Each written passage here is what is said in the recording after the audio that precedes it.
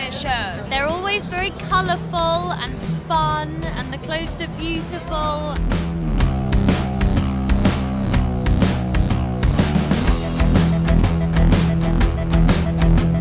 I saw this amazing exhibition at the Tate last year, and it was Pre-Raphaelite painters, and I was so excited to see it. I made a special trip to London, and they're really my all-time favorite painters, so I thought why not do a collection inspired by them.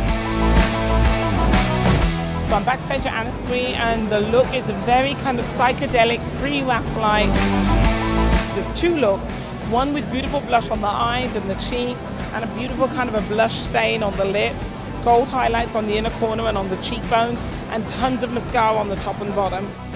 And then also for a few girls, four girls, they're going to have a beautiful blue paint, that's a psychedelic element. We went through these old drawings that Anna had collected, and I decided that we would wave all the hair and actually make the hair longer than most girls have cut their hair. We did the waving with a waving iron, and it sort of became kind of a between surreal, hippie, and grunge with a very, very kind of pre-Raphaelite feeling to it. I'm really excited about Anna's cosmetic line. I love her packaging. I mean, this is radical. A nice little rouge.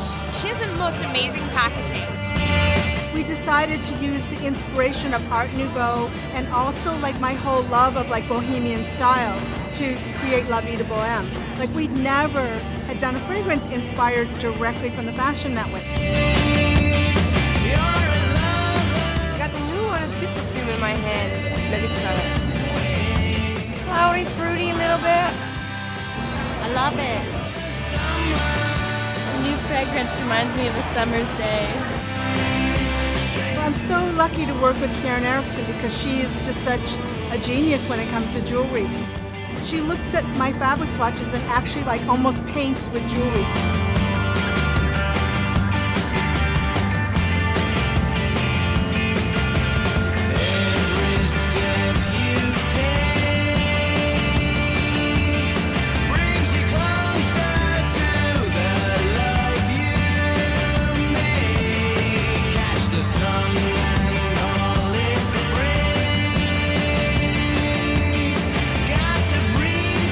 It was so beautiful. I'm still kind of swept up in it all. I felt like you were in a whole other world watching it, and it was very beautiful.